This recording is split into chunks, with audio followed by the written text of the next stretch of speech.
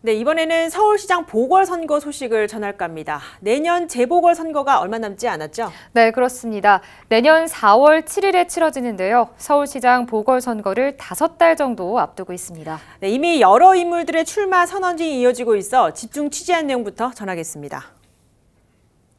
내년 4월 7일 서울시장 보궐선거 출마 선언이 이어지면서 본격적인 선거전이 시작됐습니다. 우선 야권의 움직임이 빠른 가운데 조만간 여권 인사들의 출마 선언에도 시동이 걸릴 전망입니다. 새 서울시장 출마에 어떤 인물이 나오고 있을까요? 네, 김대우 기자가 취재했습니다.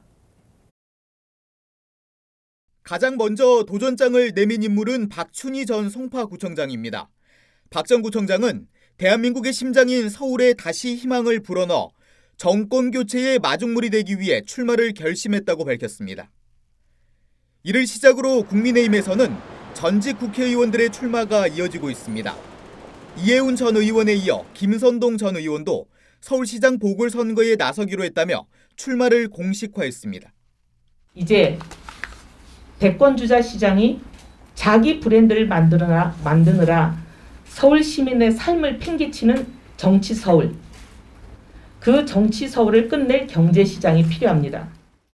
이제는 오직 24시간 오로지 서울 시만을 생각하고 서울을 위해서 뛰는 서울시장이 필요합니다.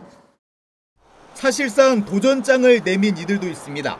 출마를 기정사실화했다고 볼 수 있는데 더불어민주당을 탈당한 금태섭 전 국회의원과 조은희 현 서초구청장 등입니다. 우상호 현 국회의원도 조만간 공식적으로 출마 선언을 할 걸로 알려졌습니다. 하마평에 오르는 인물들도 있습니다. 여권에서는 박영선 현 중소벤처기업부 장관과 박주민 국회의원 등이, 야권에서는 나경원, 지상욱, 오신원 등 국회의원 출신 인사와 이준석 전 최고위원 등이 거론되고 있습니다. 천만 서울 시민의 살림살이를 책임질 새 서울시장을 뽑는 보궐선거. 그 선거를 다섯 달 정도 앞둔 지금 총성 없는 전쟁이 시작됐습니다. BTV 뉴스 김대우입니다.